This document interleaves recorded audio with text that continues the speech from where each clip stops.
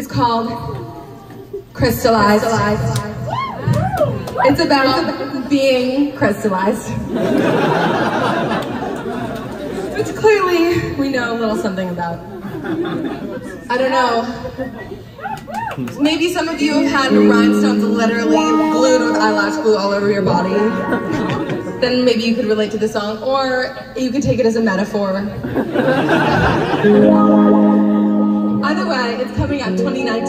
So keep your ear out. There's a new music. Crystalized.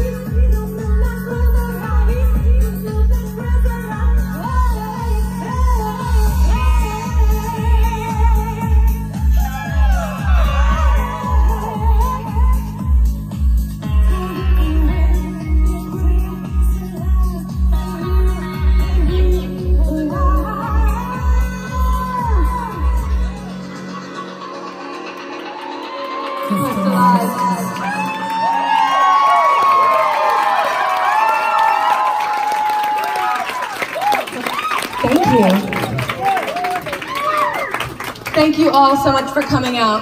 This is our second to last song. Woo!